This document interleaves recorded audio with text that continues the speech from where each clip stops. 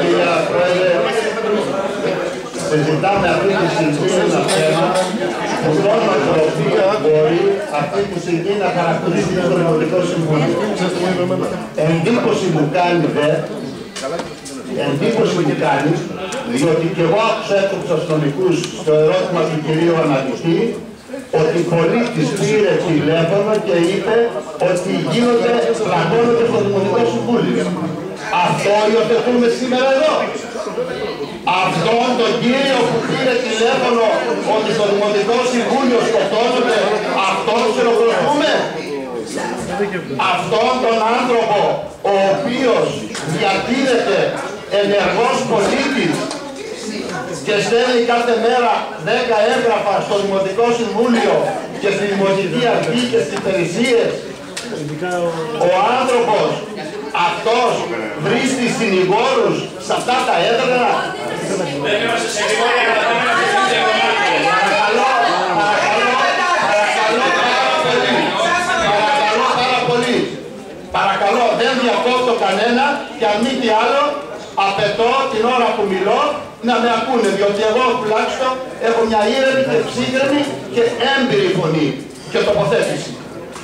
Συζητάμε λοιπόν για έναν άνθρωπο ο οποίος δημιουργεί προβλήματα στη Δημοτική Αρχή, στο Δημοτικό Συμβούλιο.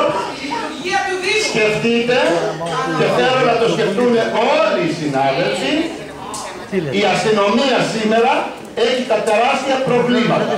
Οι πολίτες έχουν τεράστια προβλήματα της ανασφάλειας. Και ασχολιόταν ένα τμήμα από τις 9 το βράδυ έως τις 10 το πρωί και είχε συνέχεια και στο αυτόφορο. Και αυτόν επικροτούμε σήμερα εδώ πέρα. Μερίδα του Δημοτικού Συμβουλίου. Θα ήθελα παρακαλώ, έχει λόγο η Δημοτική Αρχή. Δεν ξέρω εάν δεν τους βλέπετε. Έχει λόγο αν θέλετε να αντιπολιτευτείτε και πολύ καλά θα κάνετε. Δεν μπορεί όμως μέσα από, την, από το μέλος της αντιπολίτευσης να βρισκόμαστε συνήγοροι και να ταυτιζόμαστε με ανθρώπους που θα πρέπει να μας πούνε επιτέλους.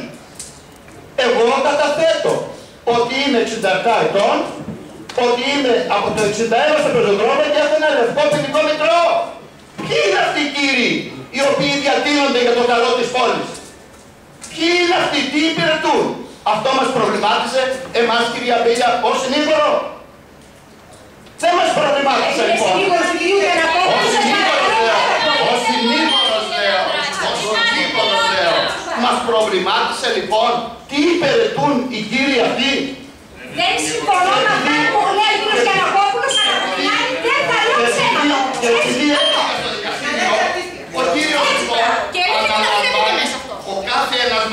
αναλαμβάνει και κάποιες ευθύνες. Επιτέλους. Και οι ευθύνες, τελειώνω κυρία Πρόεδρε, και οι ευθύνες είναι ότι δεν μπορεί σήμερα η πόλη της Γλυφάδας, το Δημοτικό Συμβούλιο, ο Δήμαρχος και ένα σωρό δημοτικοί σύμβουλοι να πηγαίνουν το Σάββατο για να γίνει το δικαστήριο λοιπόν. Να γίνει το αυτόφορο, επιτέλους. Να γίνει την, την, το Σάββατο, να γίνει την Τετάρτη. Και με όλες τις δολοφλοκίες αυτές να συζητάμε, μας λείπουν οι μάρτυρες, μας λείπει ο συνήγορος, τον απέβαλα το συνήγορο. Και εμείς καθόμαστε σήμερα να πούμε τι, ότι σωστά έκανε και απέβαλα το συνήγορο.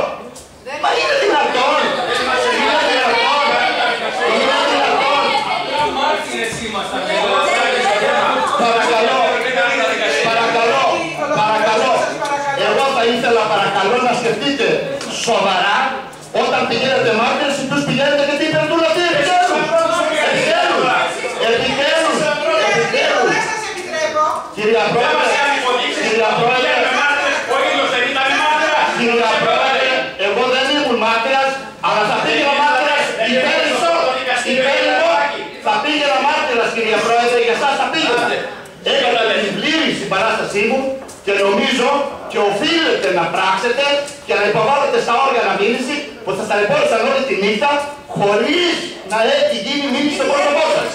Νομίζω και οφείλετε παρακαλώ να έχετε ένα ψήφισμα, δεν έχω καν μιλήσει μαζί σας και να υποβάλλετε τις μηνύσεις και εγώ τουλάχιστον ταυτίζομαι πλήρως και καλώς τους δημοτικούς συμβούλους παρακαλώ όλους τους δημοτικούς συμβούλους να αναλογιστούν τι κάνουν αυτή τη στιγμή και τι λένε.